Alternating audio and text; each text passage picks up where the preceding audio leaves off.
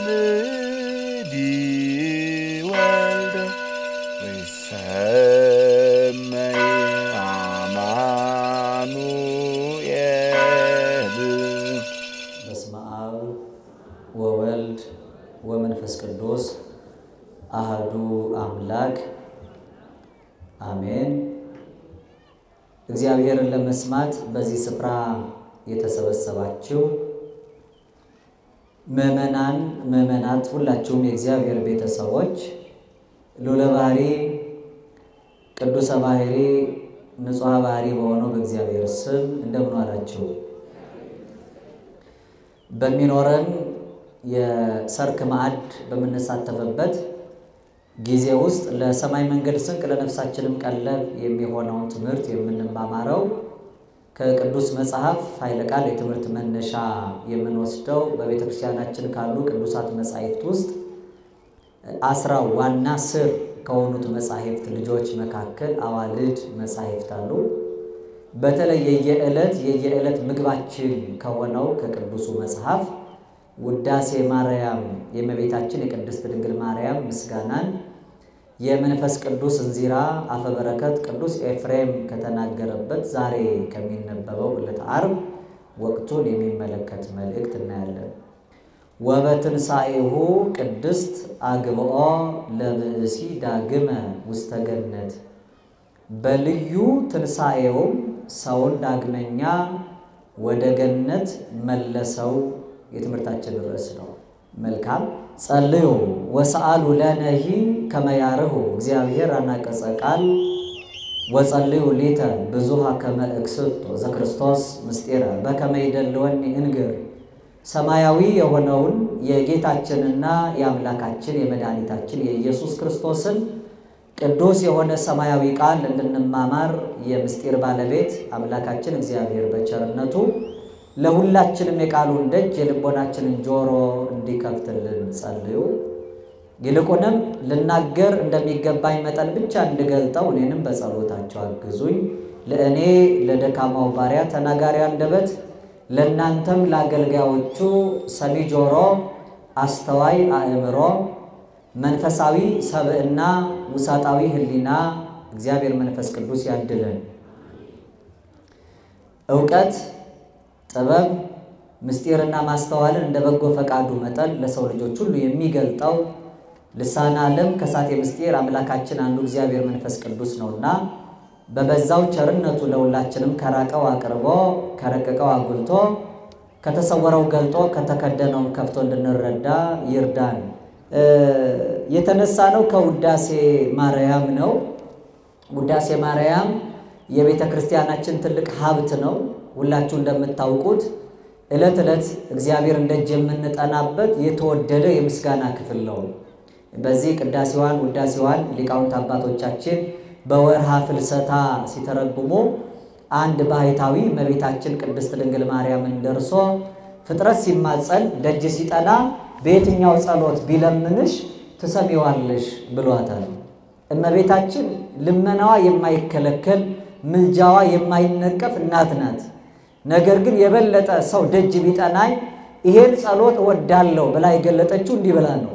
ልጄ መዝሙረ ዳዊት አቡነ ዘበሰማያትን ሲደግሙለት እንዲደሰት ውዳሴን ከቅዳሴ የሚደግም ሰው ያስደስተኛል ብላለች እመቤታችን። ዕለት ዕለት ሰዎች ከእግዚአብሔር ምሕረት ይቅርታን፣ ረድኤት፣ በረከትን ደጅ ለመጥናት የሚማጸኑበት የእመቤታችንን አማላጅነት ተስፋ አድርገው ደጅ የሚጠኑበት ደገኛው የጸሎት መጽሐፍ ውዳሴ ማርያም ነው። በቤተ ክርስቲያናችን ያለ እያንዳንዱ ሰው አፉን ከፈታ በኋላ ፊደል ከለየ በኋላ በተለይ በቃል ትምህርት የሚማረው ቀዳሚው ትምህርት የዘውትር ወይም ዕለት ዕለት የሚጸለየው የጸሎት መዳረሻ የአምላካችን የመድኃኒታችን የኢየሱስ ክርስቶስን ይቅርታና ቸርነት ደጅ መጥኛ ጸሎት ሁሉ ሰው የሚማረው የቃል ትምህርት ነው። ውዳሴ ማርያም የሚባለው የውዳሴ ማርያም ደራሲው ታላቁ መምህራችን የመንፈስ ቅዱስ እንዚራ አፈበረከት ቅዱስ ኤፍሬም ሶርያዊ ነው። ታሪኩ ሰፋ ተደርጎ ሁል ጊዜ ስለሚሰጥ ጊዜያችንን ለመሻማት እንደ መጀመሪያ ክፍል ትምህርት ውዳሴ ማርያምን የደረሰው ቅዱስ ኤፍሬም ሶርያዊ እመቤታችንን በጣም ይወዳት ስለነበረ የእመቤታችን የቅድስት ድንግል ማርያምን ምስጋናዋን እንደ ሰማይ ከዋክብት እንደ ባህር አሸዋ በስቶልኝ ይላል። በልቼ ጠጥቼ ጠግቤ ረክቼ ለብሼው ሞቆኝ እያለ ይመኝ የነበረ ነው። እግዚአብሔር አምላክ የሚሹትን የሚፈልጉትን መስጠት ልማዱ ነውና የእመቤታችን የቅድስት ድንግል ማርያምን ፍቅሯን አበዛለት አብዝቶለት አቅም እግዚኦ መዋግደ ጸጋከ አቤቱ የጸጋህን ሞገድ ከዚህ ላይ አቁምልኝ ከዚህ በኋላ ከልክል እስኪል ድረስ የእመቤታችን የቅድስት ድንግል ማርያምን ምስጋናዋን ውዳሴዋን አብዝቶ አምልቶ የተናገረው በጣም የወዳትም ስለነበረ ሰርቶ ደክሞ ያገኘውን ገንዘቡን ለድሃ ለችግረኛው ቆርሶ ሲያጎርስበት ቀዶ ሲያለብስበት የሚሰጠው በእመቤታችን ስም ብቻ ነበር ይላል መጽሐፍ። ሌሎቹን ንቆ አጥቅቶ አይደለም። አሁን በመድኃኔዓለም ስም ሲለመን የማይሰጥ በቅዱስ ገብርኤል ስም ሲለመን የሚነፍግ ሆኖ አይደለም። የእርሷ ፍቅር ባያደርሰው ነው ይላል። በእሷ ስም ከተለመነ ያለውን ሁሉ ሰጥቶ ባዶ እጁን ይቀራልና እንዲህ ያለውን ፍቅሯን እመቤታችን ቅድስት ድንግል ማርያም በአማላጅነቷ ለሁላችንም ታጎናጽፈን። ጣዕሟን ባንደበታችን ፍቅሯን በልባችን ልጇ ክርስቶስ አምላካችን ይሳልብን። ምክንያቱ እርሷ የድህነት የሰው ልጆች የይቅርታ ምክንያት ስለሆነች ነው። ምልጃዋ ከእግዚአብሔር ዘንድ ይቅርታ፣ ቃል ኪዳኗ ከእግዚአብሔር ዘንድ ምሕረት ያሰጣል። ለዚህ ነው የእናት ልመና ነው የማይከለከል ስለሆነ ፊት አያስመልስ፣ አንገት አያስቀልስ፣ ልብ አያስጨክል ብለን የምንናገር እንዲያውም ከዚህ ቀድሞ አሁን ከተነሳንበት ውዳሴ ማርያም ክፍል ቀጥሎ ተያይዞ የሚደገም ጸሎት አለ። ማርያም ንጽሕት ድንግል ወላዲተ አምላክ ማይምን ሰአሊተ ምሕረት የሚል ንጽሕት ድንግል ማርያም የታመነች አምላክን የወለደች የታመነች የምሕረት አማላጅ ናት ይላል። ማይምንት ሰአሊተ ምሕረት ወላዲተ አምላክ ማይምንት ለሁለቱ ማይምንት የሚለው የታመነች አምላክን የወለደች ናት። የታመነች የምሕረት አማላጅ ናት። ለእኛ እርባና ያለው ከትምህርቱ ርዕስ ጋር የታመነች የምሕረት አማላጅ የሚለው ነው። እስኪ የታመነች በሉ የምሕረት አማላጅ ምን ማለት ነው? የታመነች የምሕረት አማላጅ ማለት ምልጃዋ የማይከለከል ማለት ነው። ጉዳይ ፈጻሚ የሆነ ምልጃ አምላካች የለም ይህስ አይሆንም የማይለው ማለት ነው። ሌሎቹ አንጋጠው የሚጠይቁትን እሷ ዘንበል ብላ ነው የተመለከተችው። ሌሎቹ አምላክ ፈጣሪ እያሉ ሲለምኑት እሷ ወልዴ ልጄ ብላ ነው የምትለምነው። የእናት ልመና የማይከለከለው ስልጣኑ መለመን መጠየቅ ብቻ ሳይሆን ማዘዝም ጭምር አለበት። ምክንያቱም ልጅ ለእናቱ ይታዘዛታል ጭምር። እሷ ታሾማለች ብቻ ሳይሆን ንግሥት ስለሆነች ትሾማለችም ጭምር። በዚህ ቅዱስ ዳዊት ሲመሰክር ህየንተ አበውኪ ተወልዱ ለኪ ደቂቅ፣ በአባቶችሽ ፈንታ ልጆች ተወለዱልሽ ይላል። እነዚህ ልጆች ወይ ዘክሩ ስመኪ በኩሉ ትውልደ ትውልድ፣ ስምሽን ለልጅ ልጅ አስበው አሳስበው ይኖራሉ። ታዲያ እንዲህ ሲያደርጉ አንቺስ ምን ትከፍያቸዋለሽ? ወትሰይም ዮሙ መላእክተ በኩሉ ምድር፣ በምድር ሁሉ ላይ ገዢዎች አድርገሽ ታሾሚያቸዋለሽ ሳይሆን ትሾሚያቸዋለሽ ይላል። የምትሾም እናት ናት።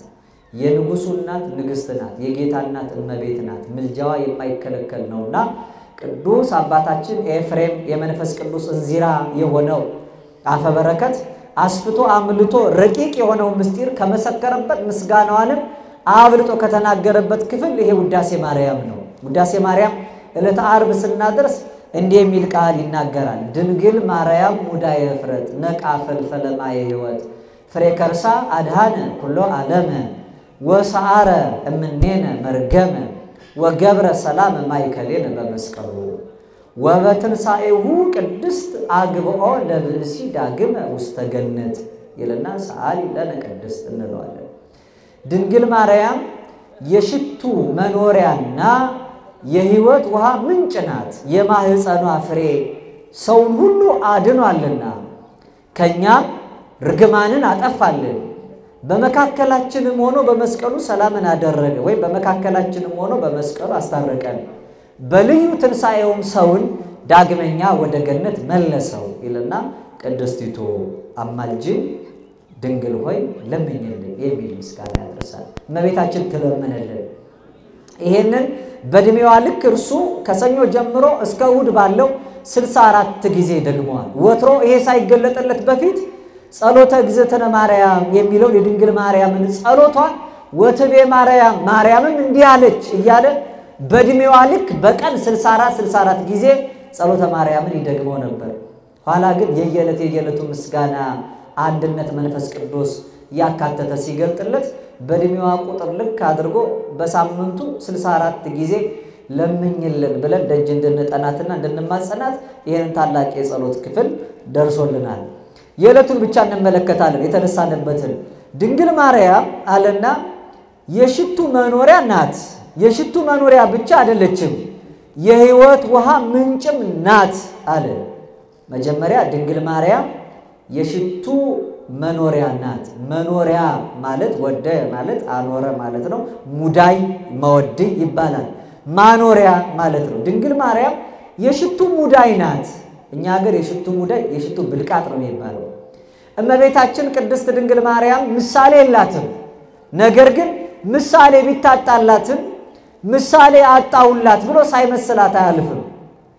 ጻድቁ አባታችን ብርሃነ ዓለም ኢትዮጵያዊ ሐዋርያ አቡነ ተክለ ሃይማኖት ስለ እመቤታችን ሲናገሩ መቅደም ላይ አንስቸዋለሁ። እንዲህ ይሏታል፣ ህጥይተ አምሳል እምነ አምሳላት፣ እርሷ ከምሳሌዎች ሁሉ ምሳሌ ታጣላት ናት። ምንም ምሳሌ አይመስላትም። አባ ሕርያቆስ በመኑ ብቻ ሳይሆን በአምሳለ መኑ ናስተማስለኪ፣ ድንግል ማርያም ሆይ በማን እንመስልሻለን? ይሄ ብቻም አይደለም፣ ማን በመሰለው ምሳሌ ማንስ በተመሰለበት ምሳሌ አንቺን መስሎ መናገር ይቻላል። ምንም ምሳሌ ሕጹጽነት ወይም ታናሽነት ቢስማማው፣ ነገር ግን እሷን ተናግሮ ክብሯን መስክሮ መጨረስ ስለማይቻል ሰው በሚያየውና በሚረዳው ነገር እንደው ይሄን ይመስላል ተብሎ ይነገርለታል። ያልደረሰበት ያላገኘው ያላየው ነገር ሲኖር ምሳሌ ቀረብ ይደረግና በዛ ምሳሌ ተመስሎ ይታያል።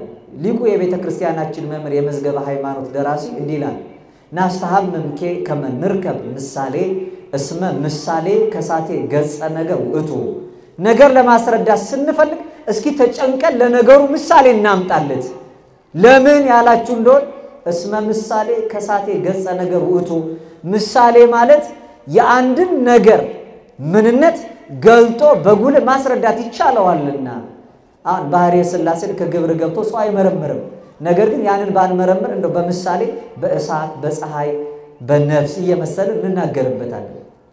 እንዲሁ ነው የእመቤታችን የቅድስት ድንግል ማርያምን ንጽሕናዋን፣ የእመቤታችን የቅድስት ድንግል ማርያም ክብሯን፣ የእመቤታችን ቅድስት ድንግል ማርያምን ወላዲተ አምላክ እመ አማኑኤል መሆኗን ለመመስከርና ለማሳየት ምንም አይነት ይህን የሚያስረዳ ነገር ብናጣ በሚቀርብና እንዲህ ይሄንን ካወቃችሁና ከተረዳችሁ የእሷ ከዚህ ቢልቅም ነገር ግን ይህን ይመስላል እየተባለ ይነገራል። እና ምሳሌ ባጣላት ሳልመስላት እንደምን አልፋለሁ ይልና ሊቁ በዚህ መስላታል። ድንግል ማርያም የሽቱ ብልቃጥ ነው የምትመስለው አለ። የሽቱ ብልቃጥ ሽቶ ይይዛል። ሰዎች መልካም መዓዛ ያለው ሽቱ ከውስጡ ይቀቡበታል። እንደገና ይደንቃቸዋል። ያን የሽቱ ብልቃጥ ሽቱ ካለቀው በኋላ ያኖሩታል በክብር። ምክንያቱም የዛ የመልካም መዓዛው የሽቱ ሽታው ምንም እንኳን ሽቶ ከውስጡ ቢያልቅም ያንን ሽቱ ሽቱ ግን እየሸተተ ይኖራል። እመቤታችንም በዚህ መስላታል። ምክንያቱም ልጇ ኢየሱስ ክርስቶስ እፍረት ብዑዝ ይባላል። መልካም መዓዛ ያለው ሽቱ ይባላል። ጥሩ መዓዛ ያለው ሽቱ ነው። የእኛን ለዓይን ማየት የከፋ ለአፍንጫ ሽታ የከረፋ ሕይወታችንን ከመርገም ወደ መባረክ የቀየረው ከሞት ወደ ሕይወት የመለሰው ከድቅድቅ ጨለማ ወደሚደነቅ ብርሃን ያሻገረው ያንን ሰብዕናችንን በእርሱ ደም የለወጠው ራሱን በእግዚአብሔር ፊት የቀረበ በራሱ በአባቱና በመንፈስ ቅዱስ ፊት የቀረበ መልካም መዓዛ ያለው መሥዋዕት አድርጎ ያቀረበ ነው። ቅዱስ ጳውሎስ በኤፌሶን መልእክቱ ምዕራፍ አምስት ቁጥር ሁለት ላይ ክርስቶስ ለእግዚአብሔር የመዓዛ ሽታ የሚሆን መባና መሥዋዕት አድርጎ ስለ እናንተ ራሱን ሰጠ ይላል። በእግዚአብሔር ፊት በቀራንዮ አደባባይ ክርስቶስ አምላካችን አንዱ አካል በሦስት ግብር ተገለጠ። አንዱ አካል ወልድ ዋሕድ ኢየሱስ ክርስቶስ ነው። ከሁለት አካል አንድ አካል ከሁለት ባህሪ አንድ ባህሪ የነበረው የተገለጠው በሦስት ግብር በሦስት ሥራ ነው። ተቀምጦ መሥዋዕት የሚቀበል ቆሞ መሥዋዕት የሚያቀርብ ቀርቦ መስዋዕት የሚሆን እኛን ከራሱ ከአባቱ ከመንፈስ ቅዱስ ጋር መታረቂያ ገንዘብ እስኪሆን ድረስ ዋጋ ከፈለልን። ያ መስዋዕቱ ዋይረገ ለአቡሁ ርእሶ ዕጣነ ወመስዋዕተ ስሙረ ራሱን የተወደደ መስዋዕት አድርጎ በአባቱ በራሱና በመንፈስ ቅዱስ ፊት አቀረበ።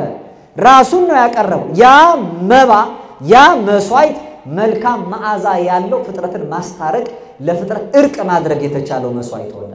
አንድ ጊዜ አንድ ጊዜ ብቻ ራሱን ሰዋ ክርስቶስ አምላካችን። ከዚያ በኋላ ቆሞ የሰዋው አምላካችን ቆሞ የመሰዋቱን ስልጣን ለሐዋርያ ሰጣቸው። መስዋዕት ሆኖ መቅረቡን ግን ሌላ ሳይተካው ያን የተወደደ መስዋዕት አንድ ጊዜ በዕለተ ዓርብ ቀርቦ እስከ ህልቀተ ዓለም እስከ ዘመናት ፍጻሜ ድረስ መስዋዕት እየሆነ ካህኑ ምዕመናንን ሰብስቦ ቀራንዮ ያደርሳቸዋል። ቀራንዮ የተሰዋው አንዱ መስዋዕት፣ አንዱ መባ፣ አንዱ መልካም መዓዛ ያለው እንደ ሽቱ አብ ወልድ መንፈስ ቅዱስ ተቀብለው ፍጥረትን ይቅር ያሉበት መስዋዕት እስከ ዓለም ዳርቻ አንድ ጊዜ ይቀርባል። በቅዳሴ መግቢያ አባቶቻችን መኑ ዘርዮ መራዊ ዘይጠብ ስጋሁ በጊዜ ከብካቡ ወይትበላ ለገሙራ እንዲህ ያለ ሙሽራ ማን አይቶ ያውቃል? በሰርጉ ቀን ቀራንዮ ምዕመናንን ሰርግ ጠርቷቸው ራሱን መስዋዕት አድርጎ ካቀረበ በኋላ ወይትበላ ለገሙራ እስከ ወዲያኛው ድረስ ሲበላ የሚኖራል መልካም መስዋዕት ሆኖ ሰዎች ያቀረቡትን መስዋዕት እግዚአብሔር ሳይቀበል 5500 ዘመን ኖረ። እንኳን መስዋዕታቸው እጅ መንሻ ቁርባናቸው ቀርቶ ጸሎታቸው እንኳን ጸባዖት አይደርስም ነበረ። ቅዱስ ዳዊት ወጸሎት የኔ ገብ አውስተ ጽኔ ጸሎቴ ወደ ራሴ ብብት ተመለሰ። ነቢዩ ኤርምያስ ጸሎት እንኳን እንዳያርግ አንተ ራስን በደመና ከደንክ አለው። ወልድ ዋህድ ግን አብ ወልድ መንፈስ ቅዱስ በአንድነት የቀረበ መስዋዕት ሆኖ ሲቀበሉት ራሱ እግዚአብሔር ለፍጥረት የሰጠው መስዋዕት ሆነ። ሲቀርብ እንኳን በጋችሁ በእግዚአብሔር ፊት የምትሰዉት ክርስቶስ ይሄ ነው አልተባለም። ነዋ በግሁ ለእግዚአብሔር የእግዚአብሔር በግ ክርስቶስ ዘያት ወያሴስ ለኃጢአተ ዓለም የዓለምን ኃጢአት የሚደመስስና የሚያስወግድ የራሱ የእግዚአብሔር በግ እናንተ ያቀረባችሁት በግ መልካም መዓዛ ኖሮ ጸባዖት ከሥላሴ ዙፋን ጽራሪያም ከወልድ መንበር ፊት መቅረብ እንኳን አልተቻለው። ክርስቶስ ግን ራሱን መስዋዕት አድርጎ ራሱን ተቀብሎ እኛን ከራሱ ጋር አስታረቀን። ስለዚህ መልካም መዓዛ ያለውን ይሄንን መስዋዕት እመቤታችን ቅድስት ድንግል ማርያም ወለደችው። አንዴ መለኮትን በማኅፀኗ አሳድራ ከወለደችው በኋላ ሽቱ በብልቃጥ ውስጥ ኖሮ ከወጣ በኋላ ባዶ እንኳ ቢሆን ሽቱ ሽቱ እየሸተተ እንደሚኖረው ድንግል ማርያም አምላክን ከወለደች በኋላ ለዘላለም ማኅደረ መለኮት የመለኮት ማደሪያ የአምላክ እናት ስትባል ትጠራለች። ለዚህ ነው ጸሎታችን ላይ እመ እግዚአብሔር ጸባዖት እንላታለን። የአሸናፊው የእግዚአብሔር እናቱ ከወለደችው በኋላ እርሷ እናቱ ስትባል ትኖራለች። እሱ ሰው አምላክም ተብሎ ለዘላለም እንደኖረው እርሷ ከወለደችው በኋላ መለኮት ያደረባት ያንን ሥጋ መንፈስ ቅዱስ ከእርሷ ከፍሎ ከመለኮትነት ጋር በረቂቅ ጥበብ አዋህዶ ከወለደችው በኋላ ለዘላለም የአምላክ እናት ለዘላለም እመ እግዚአብሔር ጸባዖት ለዘላለም የአማኑኤል ወላዲቱ ስትባል ስትጠራበት ትኖራለች። ስለዚህ ከምሳሌ አቀራርቦ ምን አላት? ድንግል ማርያም አለ የሽቱ ሙዳይ ናት አለ። ሽቱን ወልደዋለች ብቻ የሽቱ መኖሪያ ናት። ያ መልካም መዓዛ ከእሷም ሲሸት የሚኖር እናት ናት። የሽቱ መኖሪያው እሷ ናት። እርሷ ሽቱን ወደ ዓለም እንደወለደችው ቀታሌ ሞት በሞቱ በሞቱ ሞትን የገደለ ወሃቤ ሕይወት በሕይወቱ ሕይወቱ ሕይወት የሆነንና ሕይወትን የሰጠን መልካም መዓዛ ጥሩ ሽቱ ክርስቶስ የሁላችንንም ጠረን ወደ መልካም መዓዛነት በእኛ ላይ አድሮ ይለውጥልን። በእውነት ቅዱስ ኤፍሬም ድንግል ማርያም አለና የሽቱ መኖሪያ ናት አለ። ድንግል ማርያምን የሽቱ መኖሪያ ናት ብቻ አላለ፣ የሕይወት ውሃ ምንጭም ናት አለ። እስኪ የሕይወት ውሃ ምንጭ ናት በሉ እመቤታችን ምንድን ናት? እርሷ ሕይወት ውሃ አለ። ይሄ ሕይወት ውሃ ከእርሷ ነው መነሻው፣ መገኛዋ እርሷ ናት አለ። መልካም ሽቱ ያለው ክርስቶስም ነው። አሁንም የሕይወት ውሃ የተባለው ክርስቶስ አምላካችን ነው።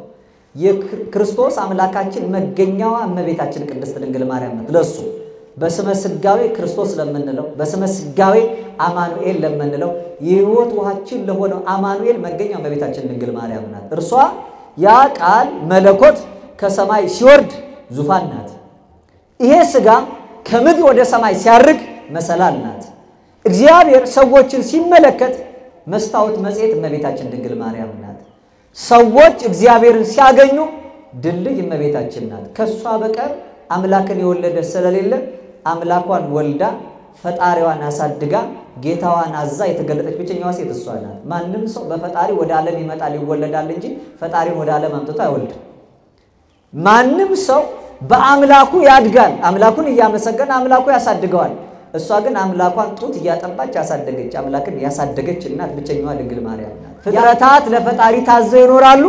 እርሷ ግን ልጇን ትጠራዋለች። ወይ ትእዝ ለአዝማዲሁ እንተ ይእቲ እሙ መጽሐፍ እንደዚህ ነው የሚለው።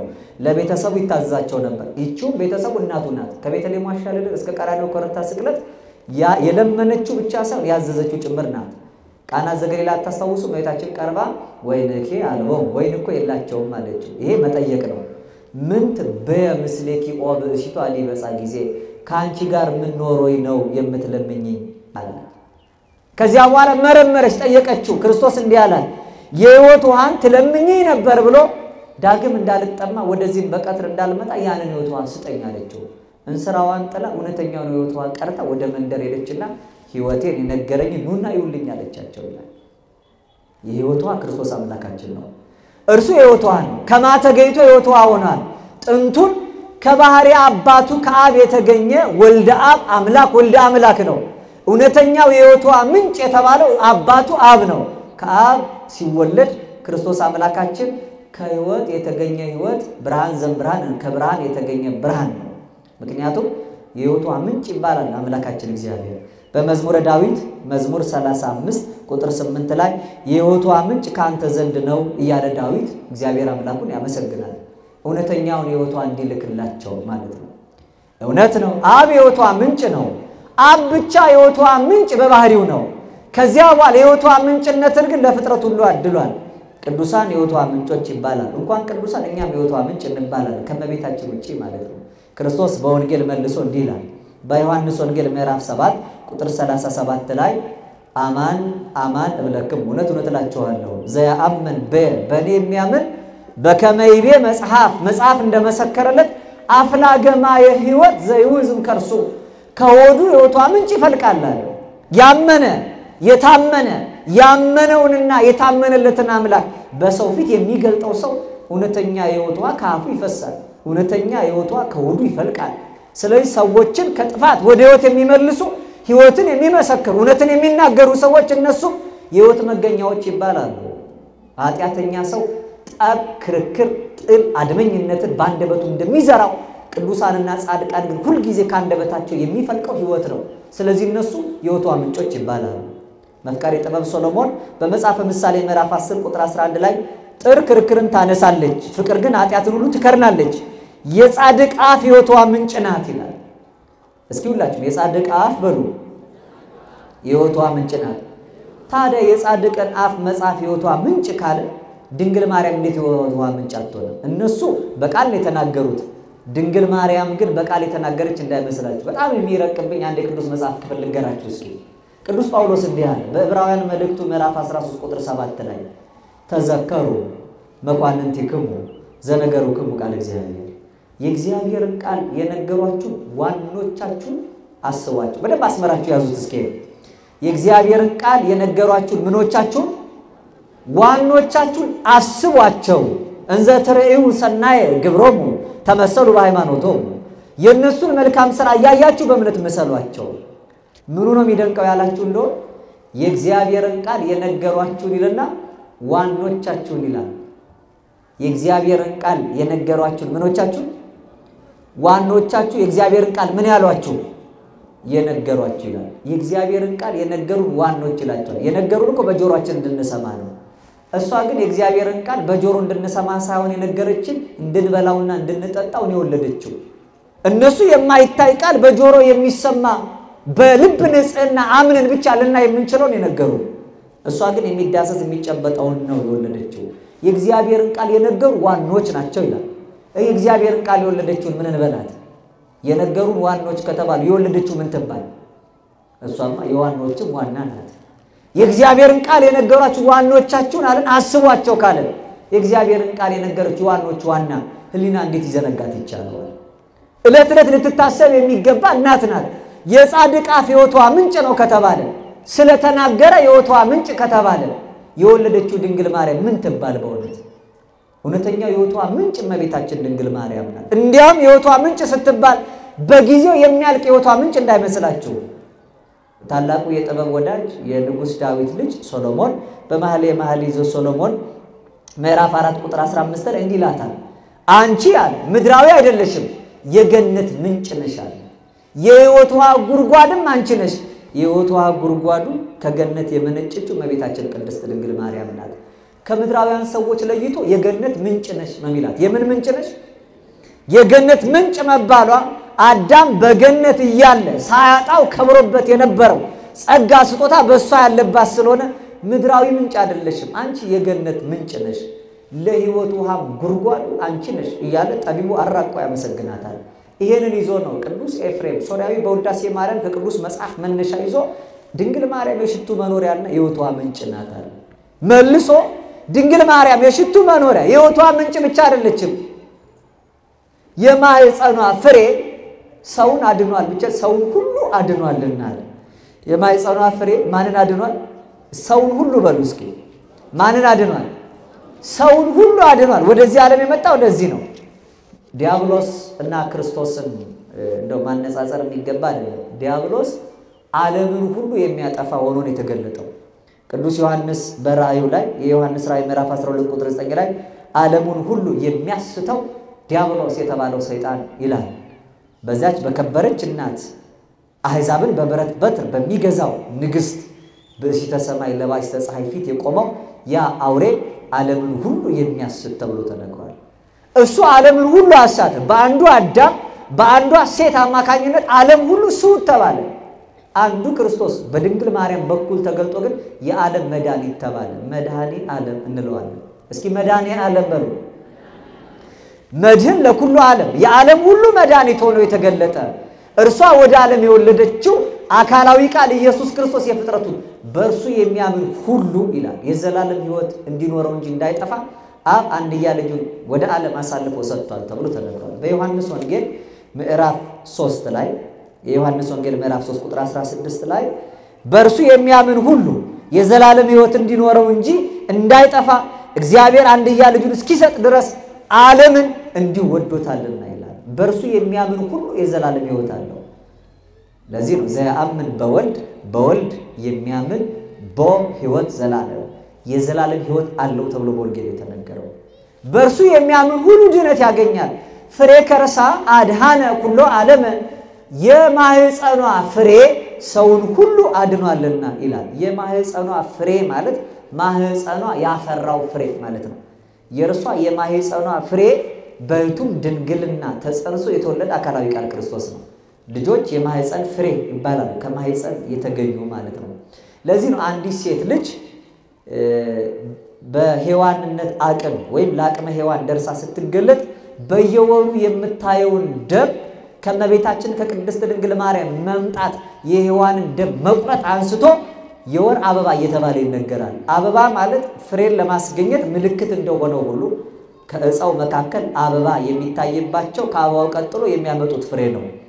እመቤታችን ቅድስት ድንግል ማርያም ደግሞ ደመ ጽጌኪ ክርስቶስ ይላታል። እንደ ሴቶች ልማድ የወር አበባ የሚታይባት ወይም እንደ ሔዋን በየወሩ ደም የሚታይባት እናት አልነበረችም። የእሷ ግን የማህፀኗ አበባ ሆኖ ደመ ጽጌ ሆኖ የተገለጠው ክርስቶስ ነው። ፍሬ ብቻ ነው የተገኘባት እመቤታችን። ያ ምልክት እንኳን አልታየባትም። በግብረ መንፈስ ቅዱስ ጸንሳ ወደዚህ ዓለም ስታመጣው ፍሬ ከርሳ የማህፀኗ ፍሬ ዓለምን ሁሉ የሚያድነው ተገ የማህፀን ፍሬ ማለት በቃል ልጅ ማለት ነው። ቅዱስ ዳዊት በመዝሙሩ ላይ እንዲህ ብሎ ይመሰክራል። መዝሙረ ዳዊት መዝሙር 126 ቁጥር 3 ላይ ናሁ ጸጋሁ ለእግዚአብሔር ውሉድ እሴተ ፍሬሃ ለከርስ ልጆች የእግዚአብሔር ስጦታዎች ናቸው። የሆድም ፍሬ ዋጋ ልጅ ነው ብሎ ይናገራል።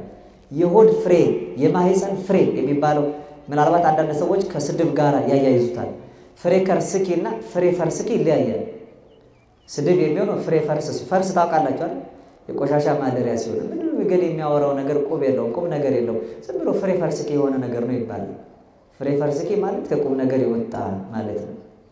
ፍሬ ከርስኪ ማለት ግን የማህፀን ፍሬ ማለት ነው።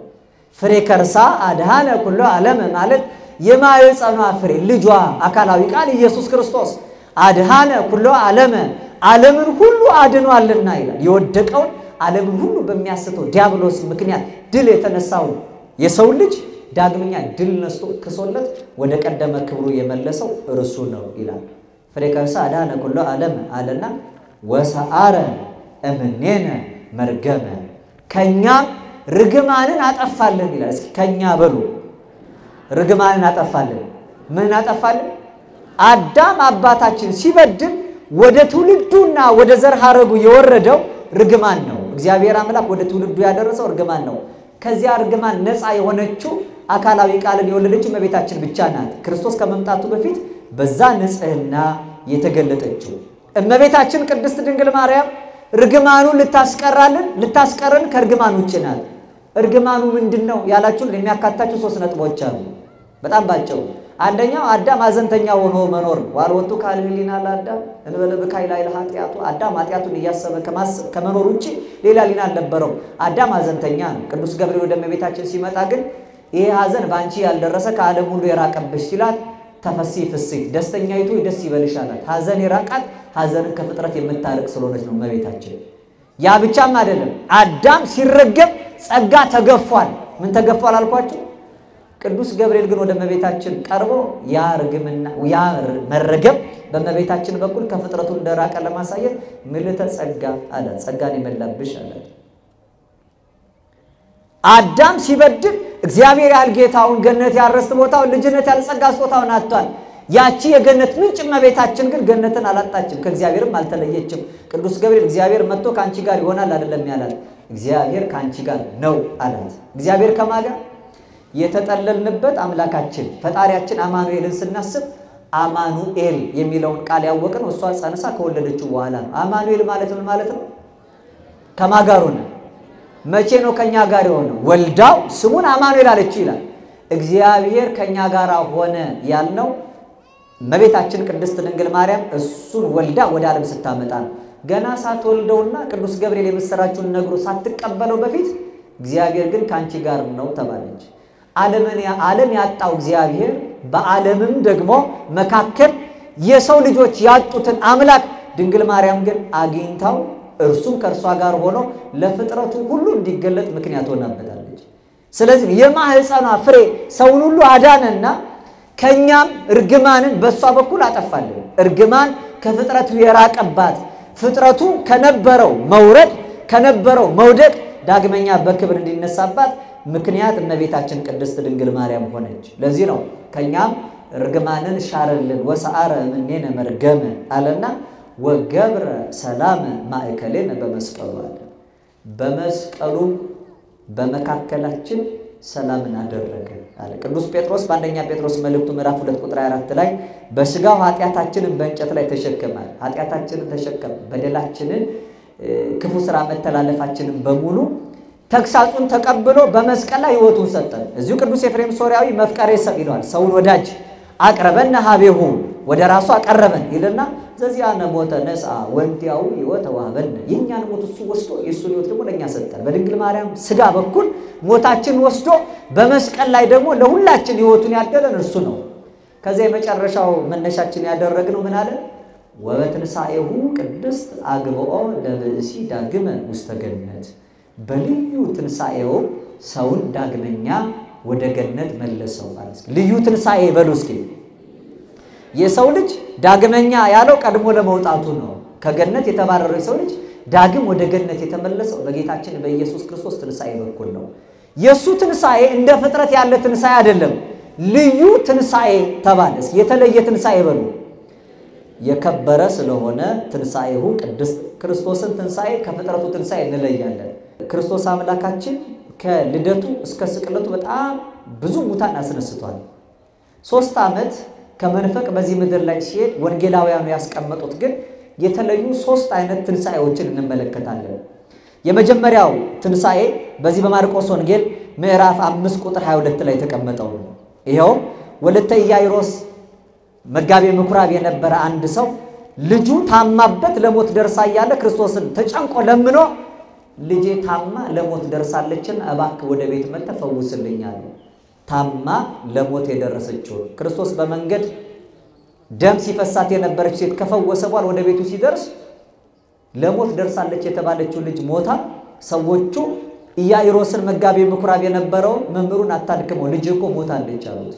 ክርስቶስ አምላካችን ወደዚያ ቤት ገብቶ ሰዎቹን በዚያ የሚያለቅሱትን አስወጥቶ ቤተሰቦቹን የምስጢር ሐዋርያቱን ይዞ ጣሊታ ጣሊታ ወይም ወለቴ ልጄ ሆይ አንቺ ወጣት ተነሽ ብሎ እጇን ይዞ አስነስቷታል። ይሄ የመጀመሪያው ትንሣኤ ነው፣ መነሳት ከሞት ታማለች ተብላ የሞተች እስኪ ታማለች ተብላ የሞተች በሉ ይችን አስነስቷታል።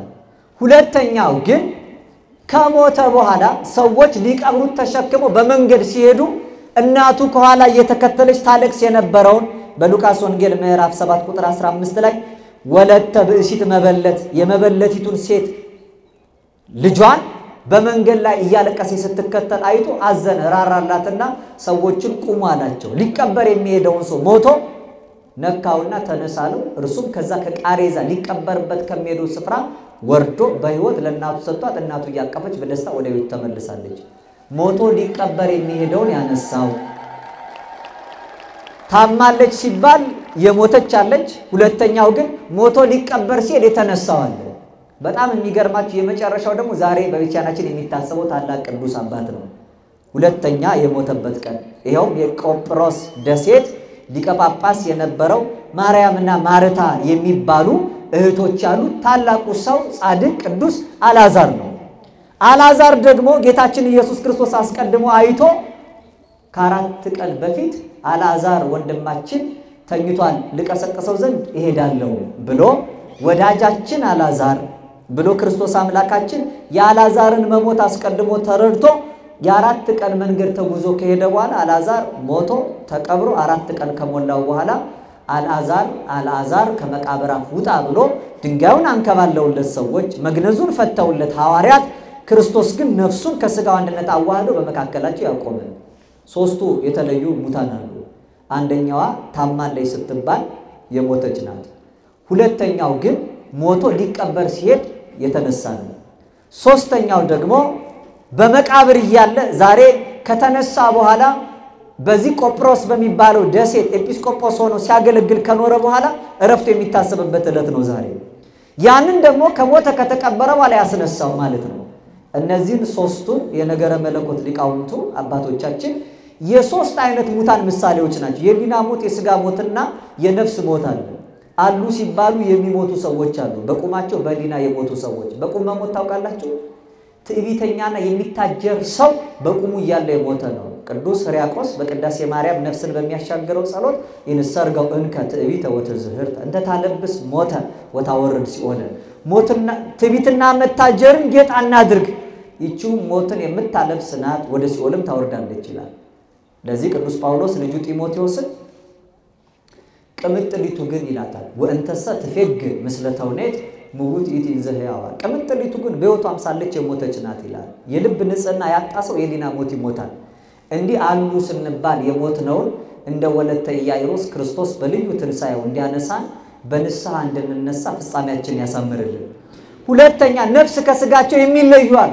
አሁን ተስፋ ቆርጠው ሰዎች ትተዋቸው ሲሄዱ እንደዚያች ብእሲት መበለት ቤተ ክርስቲያን እየተከተለች ክርስትና ስም አንስታ መሐራ ጊዜው እያለች የምታለቅስለት ሰው ደግሞ አለ።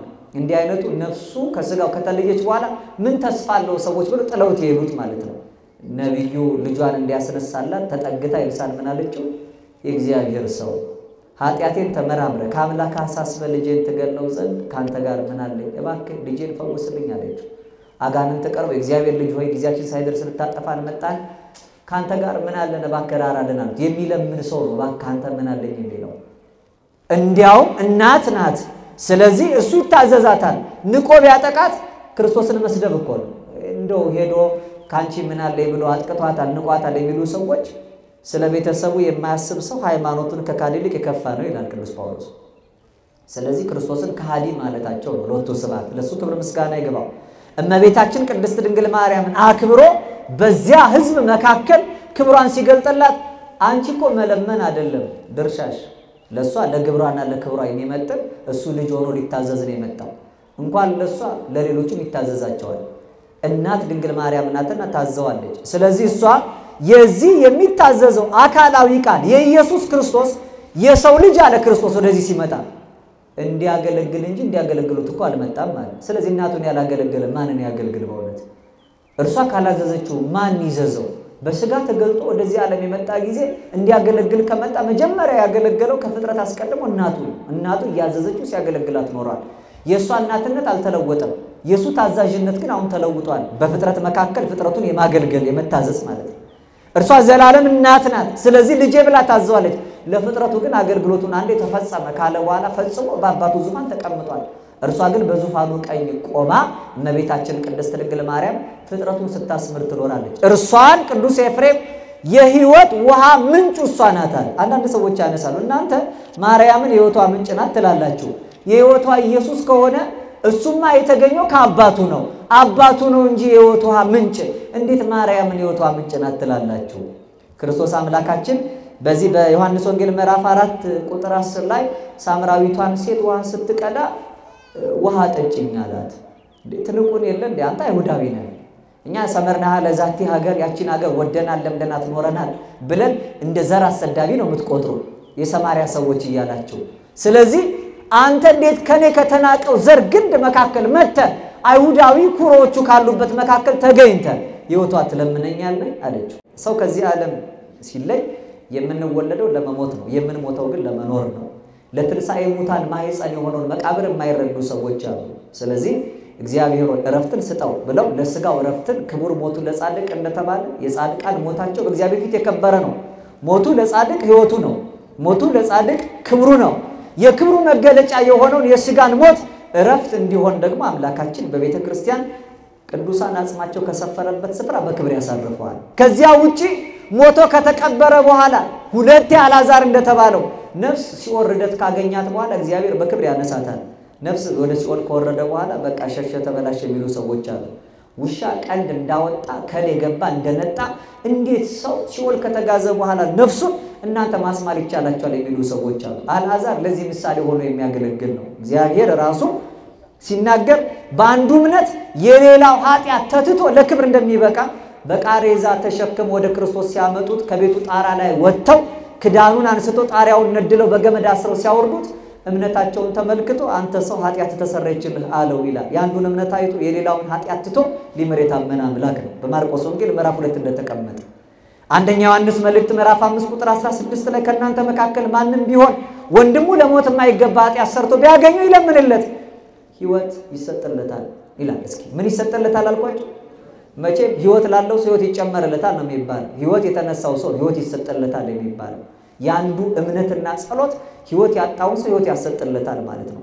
ከነዚህ ከሶስቱ ከሞት የተነሱ ሰዎች መካከል ስናስበው ሶስቱም ለመነሳታቸው ማህየዊ ሕይወት ሰጪ የሆነው ክርስቶስ መካከላቸው ቆሞ ነው። እሱ ግን ባለቤቱ ነፍሴን እኔ ላኖራት ላነሳትም ስልጣን አለ ብሎ የተናገረ እርሱ ነው እና የፍጥረቱ ሁሉ ሕይወት የሆነ መድኃኒታችን ኢየሱስ ክርስቶስ ወጥተን ርቀን የነበርነው ያቀረበንና የመለሰን በልዩ ትንሣኤው ነው። ይሄ ትንሣኤ የሃይማኖት ማዕከል ነው።